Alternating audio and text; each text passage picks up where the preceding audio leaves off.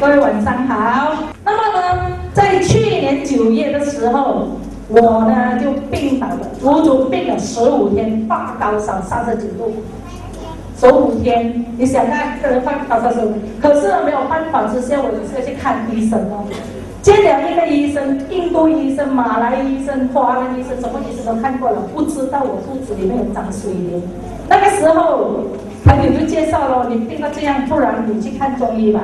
我从来都没有看过中医的哦，那么我也没有办法了，去看哦，看个中医，去到中医把那脉看了看，也没有跟我讲是我长水瘤哦，给我了一些草药回来很难吃的，很苦。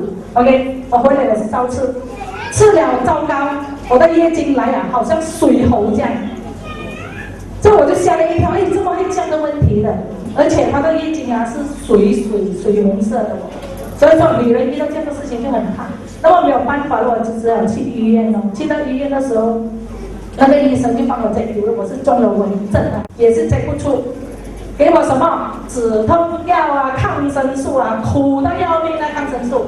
我回来，我看到抗生素不要吃，我丢掉。那么到最后的时候，我看到一个医生，那个医生跟我说，他用 scanning，那个妇科，他很有经验的，他帮我按按了，然后他给我看，他讲，安迪，你呀肚子里面啊有阴影，是水流来的，然后他又用那个那个 scanning 哦量出来，六个 cm 大，旁边还有一粒，一粒是六个 cm，但是好像一粒橙这么大，在那个子宫里面啊。然后还有一粒是像鸡蛋那么小，两粒在里面。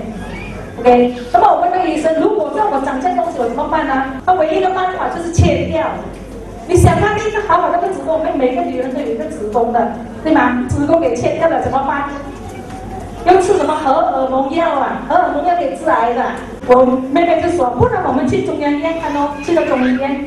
哇，我去到那边看，真的是很先进，全部都是电脑化的。那么给他整，他就说。你这个没有办法，我们没有办法帮你，只有切掉这个子宫。但我没有一个选择嘛，对吗？就听医生的话咯。OK 吧，好吧，要切就切吧，给你切。那么也是要收费的，六百块。好，那么不要紧，医院政府医院是这样的，你去到那边没有马上帮你做的，他要怎样？你排期，那么就给我排期哦。然后我就排，OK，排到十一月多。那个时候啊，因为要排期，还有这么久的时间，我就倒回屋学我在家里来。我的朋友马上带资材来找我，一找到我的时候就跟我讲这么多这么多。首先我就觉得，哎呀，还不是保健品一样的，我吃很多的啦，吃到今天为止还不是长水瘤，是啊。所以说不要紧，资材说你试试咯，就开始吃。我问资材怎样吃，他跟我讲三粒三粒，吃的哦，一天吃十粒。那么我就哎呀，不要紧啊，吃吃看咯。就我就吃咯，吃了第二天的时候，早上的时候，我忘记了我长水瘤，因为我刚吃了 S E 嘛。我的肚子旁边呢，我就种了一棵芒果树，哇，长了很多芒果。有一粒芒果呢，刚刚熟了，差不多是这么高，我要跳一点我才可以采得到哦。我就跳上去采哦，采了那粒芒果，竟然我走进屋子，哎，怎么我可以采这个芒果？哎，我可以跳哦！我就马上拨电话给志才，我讲，哎，志才，这个什么东西来的？这个我吃了，我还可以跳哦，没有痛了哦。志才讲，好啊，今晚上我带你去公司，我们去听见证会，马来见证会。听了那个见证会之后，我恍然大悟，原来这个 S M E 是什么东西来的？可以是多多的。我一回来呢，我就加量吃，加量吃，加了十五天，加我一直吃，吃到第六天的时候，我又来月经。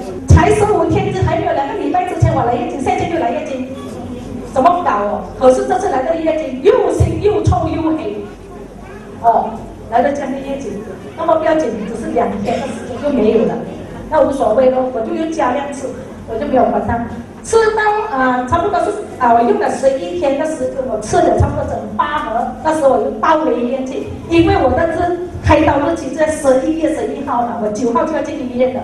当我进到医院里面去的时候，就住在医院的时候呢，第二天早上医生就来帮我诊。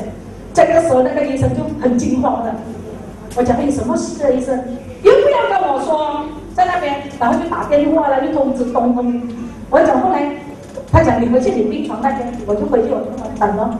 等下又有三个医生，大医生来专门又来访问我。哎，啊，安弟，我跟你说，你呢现在我们照的我们做 scanning 呢，看不到有什么瘤，什么都没有，干干净净里面。后来他说啊，不要紧吧，啊，等下我们要派啊一个最高层、最专业的医生来帮你 check。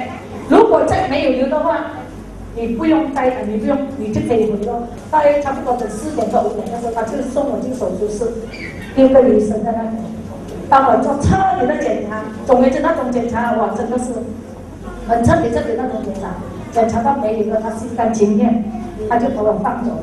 真的是很幸运，我讲，我不用开刀了。